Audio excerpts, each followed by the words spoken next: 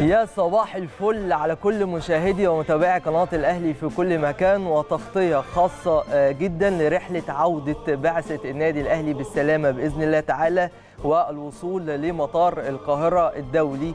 عقب الانتصار الغالي جدا جدا جدا للنادي الأهلي على فريق الوداد المغربي. هناك في المغرب في مركب محمد الخامس بنتيجة 2-0 كانت قابلة للزيادة في الحقيقة من خلال أحداث المباراة ومجريات المباراة وتألق وتفوق النادي الأهلي. وكلامنا في الحقيقة النهاردة في التغطية اللي هتمتد معاك وحتى وصول البعثة بإذن الله لمطار القاهرة سالمين هنفضل معاكم لحظة بلحظة. ودي التغطية اللي متعودين عليها دايما من خلال شاشة قناة النادي الأهلي. وتفاصيل كتير جدا وحكاوي هنحكيها مع بعض. خصوصا إن إحنا فرحانين بس في نقطة مهمة لازم نركز عليها ولازم نتكلم فيها. جمهور الأهلي ما بيفرحش غير بالبطولة.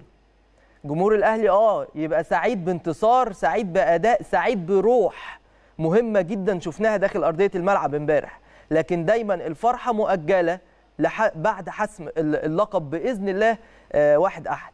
فبالتالي خليكم متابعينا وخليكم متواصلين معانا لحظة بلحظة إن شاء الله فور وصول البعثة لمطار القاهرة الدولي. خليني أقول لحضراتكم بعض التفاصيل. الفرقة اتحركت بالظبط من هناك مطار محمد الخامس في المغرب في تمام الساعة الثالثة فجرا بتوقيت القاهرة. الرحلة حوالي خمس ساعات تقريبا أو خمس ساعات ونص فمن المفترض بإذن الله تعالى يوصلوا مطار القاهرة الدولي بالسلامة في تمام الساعة الثامنة والنصف صباحا. يعني بعد نص ساعة تقريبا من دلوقتي يكونوا وصلوا وكل حاجة هنعرضها لحضراتكم من خلال هذه التغطية الخاصة والهامة جدا في الحقيقة. وكلنا فرحانين النهارده وكلنا مبسوطين وكلنا غاية في في السعادة. مش بس عشان الأهلي كسب لأ عشان إحنا شفنا روح الأهلي في الملعب. آه كنا لابسين تي شيرت أسود لكن روح الفانيلا الحمراء كانت موجودة في أرضية الملعب. مش عايز أقول مبروك غير لما نتأهل لأن دي خطوة أو دي مباراة أو ده شوط. لسه الشوط الثاني هيكون يوم الجمعة الجاية بإذن الله تعالى الساعة 9 بالليل في استاد القاهرة الدولي. نكسب نصعد نتأهل للنهائي بعد كده بقى نتفرغ للمباراة النهائية. ايا كان هنقابل مين؟ نتمناها طبعا تكون نهائي مصري.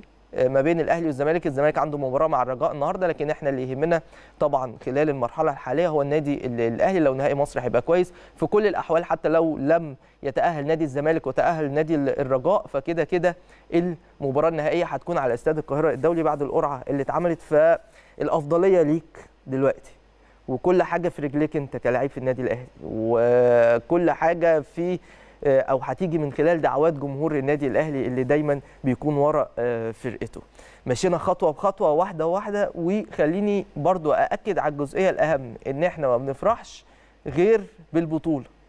البطولة صعبة برضو. آه إحنا كسبنا الوداد في المغرب وعملنا مباراة كبيرة قوي قوي قوي لكن في نفس الوقت أنت لسه المنافسة ما خلصتش. عندك الناحية الثانية بإذن الله واحد أحد لما تتأهل. يعني مش عايز أتأكد مش عايز اكد على التأهل لأن لسه في مباراة ثانية الكورة يعني فيها كل شيء. العجب ممكن تشوفه. بنشوف ال Champions League الأوروبي بتلاقي فرقة خسرانة على ملعبها اثنين وثلاثه عادي بترجع في ملعب المنافس بتكسب وتتأهل. لا قدر الله ده مش بإذن الله ده مش هيحصل معانا يعني.